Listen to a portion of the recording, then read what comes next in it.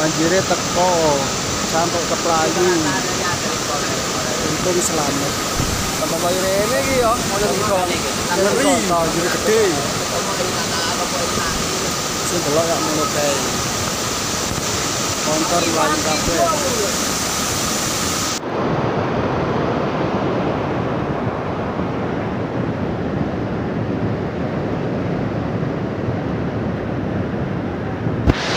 Banjir, banjir. Jadi Nakamayroon na giyo. Ano yung kontor? Ano yung kontor?